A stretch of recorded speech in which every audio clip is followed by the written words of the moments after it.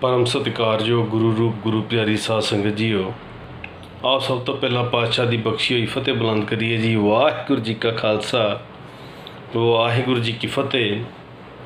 ਗੁਰਸਵਾਰਿਓ, ਅੱਜ ਬਟਾਲਾ ਸ਼ਹਿਰ ਦੀ ਪਾਵਨ ਧਰਤੀ ਵਿਖੇ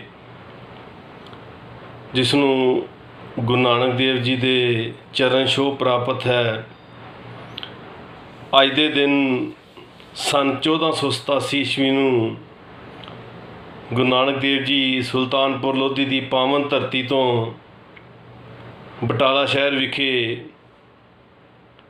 ਮੂਲਚੰਦ ਖੱਤਰੀ ਜੀ ਦੀ ਬੇਟੀ ਮਾਤਾ ਸੁਲੱਖਣੀ ਜੀ ਨੂੰ ਵਿਆਹਣ ਲਈ ਪਹੁੰਚੇ ਸਨ। ਔਰ ਇਹ ਜੋ ਇਤਿਹਾਸਕ ਦਿਹਾੜਾ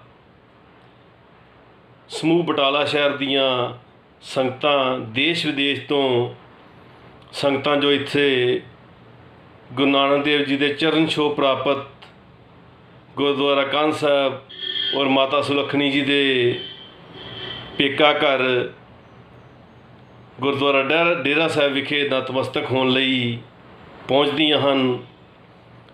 ਜਦੋਂ ਗੁਰੂ ਨਾਨਕ ਦੇਵ ਜੀ ਸੁਲਤਾਨਪੁਰ ਲੋਧੀ ਤੋਂ ਬਟਾਲਾ ਸ਼ਹਿਰ ਵਿਖੇ ਵਿਆਹਣ ਆਏ ਤਾਂ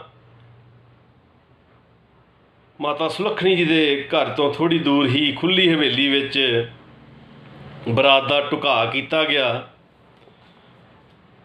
ਜਿੱਥੇ ਟੁਕਾ ਹੋਇਆ ਉੱਥੇ ਇੱਕ ਕੱਚੀ ਕੰਧ ਦੇ ਕੋਲ ਗੁਰੂ ਨਾਨਕ ਦੇਵ ਜੀ ਦਾ ਜੋ ਮੰਜਾ ਵੀ ਵਿਛਾ ਦਿੱਤਾ ਗਿਆ ਹੈ, ਗੁਰੂ ਨਾਨਕ ਦੇਵ ਪਾਤਸ਼ਾਹ ਉੱਤੇ ਸਜੇ ਬੈਠੇ ਹਨ।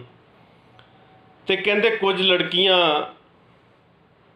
ਜੋ ਇੱਕ ਦੂਜੇ ਨੂੰ ਮਜ਼ਾਕ ਕਰ ਰਹੀਆਂ ਨੇ ਕਿ ਕੱਚੀ ਕੰਧ ਹੈ, ਲਾੜਾ ਕੱਚੀ ਕੰਧ ਦੇ ਥੱਲੇ ਬੈਠਾ ਹੈ, ਕਿਉਂ ਨਾ ਕੰਧ ਨੂੰ ਧੱਕਾ ਦੇ ਕਰਕੇ ਸੁੱਟ ਦਿੱਤਾ ਜਾਵੇ।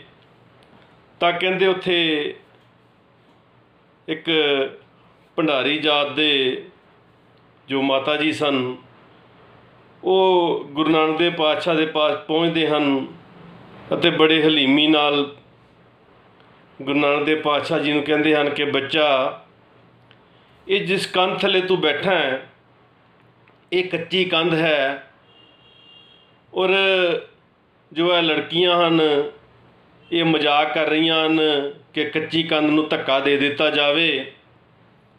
ਤੇ ਬੱਚਾ ਚੰਗਾ ਹੋਵੇ ਜੇਕਰ ਤੁਸੀਂ ਜਗ੍ਹਾ ਬਦਲ ਕੇ ਕਿਤੇ ਹੋਰ ਬੈਠ ਜਾਓ ਤੁਹਾਡਾ ਮੰਜਾ ਅਸੀਂ ਉੱਥੇ ਲਗਾ ਦਿੰਨੇ ਹਾਂ। ਤਾਂ ਜਿਸ ਤਰ੍ਹਾਂ ਗੁਰੂ ਨਾਨਕ ਦੇਵ ਪਾਤਸ਼ਾਹ ਦਾ ਸੁਭਾਅ, ਗੁਰੂ ਨਾਨਕ ਦੇਵ ਪਾਤਸ਼ਾਹ ਜੀ ਹੱਸੇ ਅਤੇ ਹੱਸ ਕੇ ਕਹਿਣ ਲੱਗੇ ਕਿ ਮਾਤਾ ਜੀ, ਇਹ ਜੋ ਕੰਧ ਹੈ, ਇਹ ਹੁਣ ਸਾਰੀ ਉਮਰ ਨਹੀਂ ਢਹਿ ਸਕੇਗੀ ਔਰ ਮੇਰੇ ਵਿਆਹ ਦੀ ਜੋ ਯਾਦਗਾਰ ਹੈ ਇਹ ਸਦੀਵੀ ਕਾਲ ਲਈ, ਇਹ ਯਾਦ ਬਣ ਕੇ ਰਹੇਗੀ।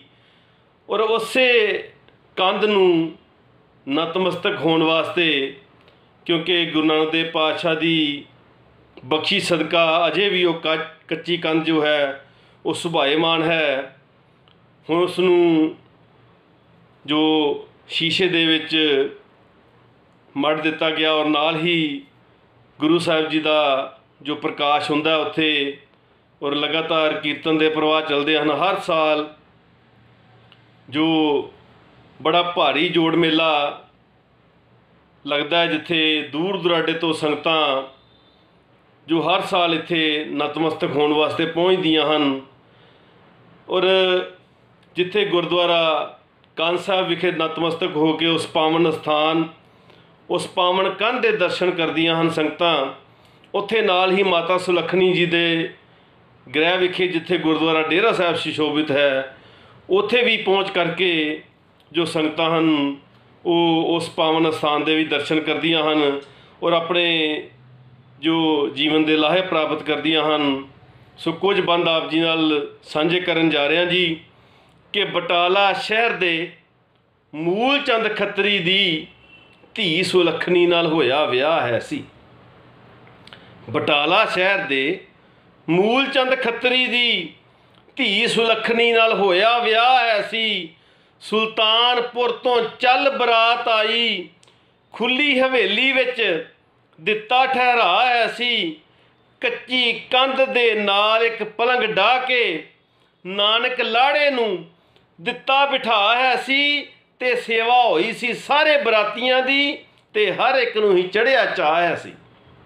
ਸੇਵਾ ਹੋਈ ਸੀ, ਸਾਰੇ ਬਰਾਤੀਆਂ ਦੀ ਤੇ ਹਰ ਇੱਕ ਨੂੰ ਹੀ ਚੜਿਆ ਚਾਹ ਹੈ ਸੀ ਤੇ ਲਾੜੇ ਕੋਲ ਆ ਕੇ ਮਾਤਾ ਇੱਕ ਕਹਿਣ ਲੱਗੀ ਕਿ ਕੱਚੀ ਕੰਧ ਹੈ, ਢਹਿਣੋਂ ਨਹੀਂ ਰਹਿ ਸਕਦੀ। ਲਾੜੇ ਕੋਲ ਆ ਕੇ ਮਾਤਾ ਇੱਕ ਕਹਿਣ ਲੱਗੀ, ਕੱਚੀ ਕੰਧ ਹੈ, ਢਹਿਣੋਂ ਨਹੀਂ ਰਹਿ ਸਕਦੀ, ਡਿੱਗਣ ਵਾਲੀ ਹੈ, ਹੁਣੇ ਨਾ ਡਿੱਗ ਜਾਵੇ। ਇਹ ਗੱਲ ਵੀ ਕਹਿਣੋਂ ਨਹੀਂ ਰਹਿ ਸਕਦੀ। ਤੇ ਸਤਿਗੁਰੂ ਹੱਸੇ ਤੇ ਹੱਸ ਕੇ ਕਹਿਣ ਲੱਗੇ, ਸਾਨੂੰ ਕੰਧ ਕੁਝ ਨਹੀਂ ਕਹਿ ਸਕਦੀ। ਸਾਡੇ ਵਿਆਹ ਦੀ ਰਹੂ ਗਵਾਹ ਬਣ ਕੇ ਕੱਚੀ ਕੰਧ ਕਦੇ ਨਹੀਂ ਢਹਿ ਸਕਦੀ। ਸਾਡੇ ਵਿਆਹ ਦੀ ਰਹੂ ਗਵਾਹ ਬਣ ਕੇ ਤੇ ਕੱਚੀ ਕੰਧ ਕਦੇ ਨਹੀਂ ਢਹਿ ਸਕਦੀ। ਤੇ ਭਾਗਾਂ ਭਰੀਏ, ਬਟਾਲੇ ਦੀਏ, ਧਰਤੀਏ ਨਹੀਂ ਭਾਗ ਜਾਗੇ ਨੇ ਤੇਰੇ ਸੰਸਾਰ ਤਾਈ।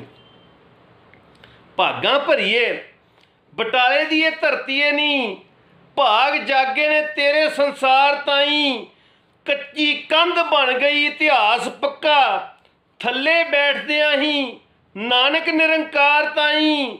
ਜੁਗਾਂ ਜੁਗਾਂ ਤੱਕ ਦੀਪ ਯਾਦ ਰਹਿਣੀ। ਕੀਤੇ ਗੁਰੂ ਨਾਨਕ ਦੇ ਇਸ ਉਪਕਾਰ ਤਾਈ। ਤੇ ਗੁਰੂ ਨਾਨਕ ਵਿਆਹ ਪੁਰਬ ਮਨਾਉਣ ਲੈ ਲੈ। ਆਓ ਸੀਸ ਨਵਾਈਏ ਉਸ ਕਰਤਾਰ ਤਾਈ। ਗੁਰੂ ਨਾਨਕ ਵਿਆਹ ਪੁਰਬ ਮਨਾਉਣ ਵੇਲੇ ਆਓ ਸੀਸ ਨਵਾਈਏ ਉਸ ਕਰਤਾਰ ਤਾਈ। ਆਓ ਸੀਸ ਨਵਾਈਏ ਉਸ ਕਰਤਾਰ ਤਾਈ। ਇੱਕ ਵਾਰ ਫੇਰ ਸਮੂਹ ਨਾਨਕ ਨਾਮ ਲੇਵਾ ਸੰਗਤਾਂ ਨੂੰ ਗੁਰੂ ਨਾਨਕ ਦੇਵ ਜੀ ਦੇ ਵਿਆਹ ਪੁਰਬ ਦੀ ਲੱਖ ਲੱਖ ਵਧਾਈ ਹੋਵੇ ਜੀ। ਵਾਹਿਗੁਰੂ ਜੀ ਕਾ ਖਾਲਸਾ, ਵਾਹਿਗੁਰੂ ਜੀ ਕੀ ਫਤਿਹ।